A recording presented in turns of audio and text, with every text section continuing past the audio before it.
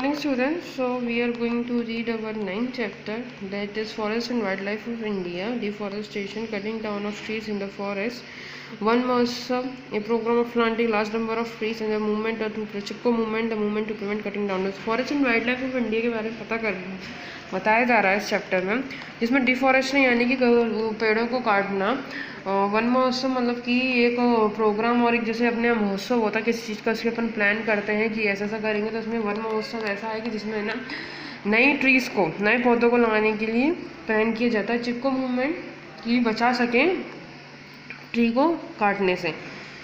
Tree and plants are the wonderful gift of nature. अपने लिए बहुत सुंदर गिफ्ट है नेचर की बिकॉज़ इनके द्वारा ही अपने को खाने पीने मिल रहा है, रहने मिल रहा है, क्योंकि आजकल है ना फैसिलिटीज़ के लिए और दिखावटी के लिए लोगों ट्रीज़ को काटने लगे हैं जिससे और ट्रीज़ को काटने लगे जिससे अपना सुंदर सुंदर वाला फर्नीचर बन सके।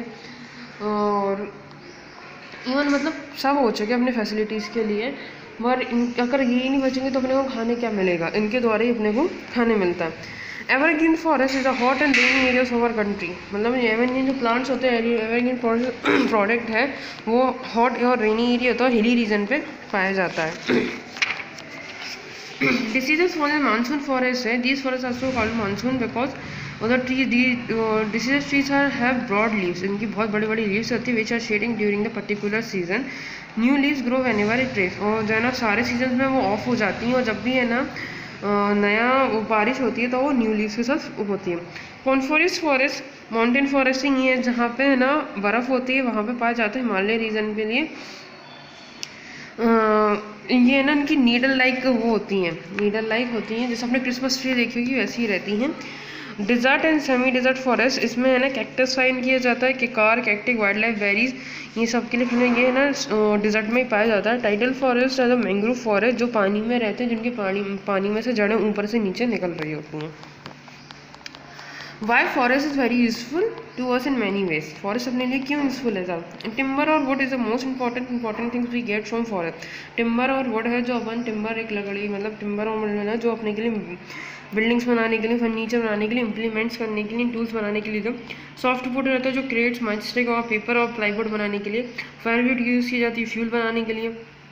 Resin from trees like pine is use to make paint and varnish अलग अलग ट्रीज रहती हैं अलग अलग चीज़ों के लिए जिसमें ऑयल भी होता है climate cool present providing oxygen भी होती है, जो फॉरेस्ट की जो ट्रीज़ होती हैं बट ट्रीज़ ज़्यादा जितनी ट्रीज़ होंगी, जितनी ग्रीनरी होगी अपने आसपास, जितनी ग्रीनरी होगी अपनी इंडिया में, उतनी अपने बारिश होगी अच्छी। और उससे अपने को शेल्टर और वाइल्ड लाइफ भी अच्छा मिलता है। अपने ना जानवर ही बचे रहते नहीं तो अपने जानवर भी ख़त्म हो जाएँगे, सब चीज़ ख़त्म हो जाएगी और अपने को शेल्टर भी रहने के नहीं मिलेगा, कुछ खाने के नहीं। और वो जो ग्रीनरी होती है, उससे टूरिस्ट भी अट्रैक्ट होते हैं। Wildlife India royal Bengal tiger is found in mangrove Fock कहते हैं।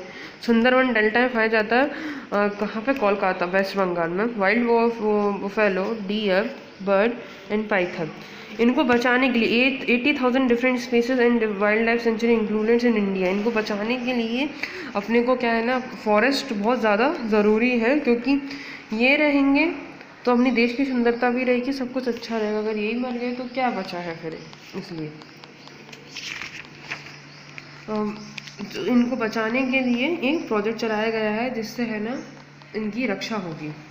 Conserve of foster wildlife conservation इन लोगों ने, ये तीन लोग सुंदर लाल बहुगुना, चाँद, चन्नी प्रसाद और गौरा देवी, जो चिपको मूवमेंट में स्पेशल एक्ट करा था जिन लोगों ने। जिन लोगों ने ना, बचाया मतलब फॉरेस्ट को बचाने के लिए बहुत आगे एक अहम भूमिका निभाई थी। जिससे चिपको मूवमेंट कहा जाता है।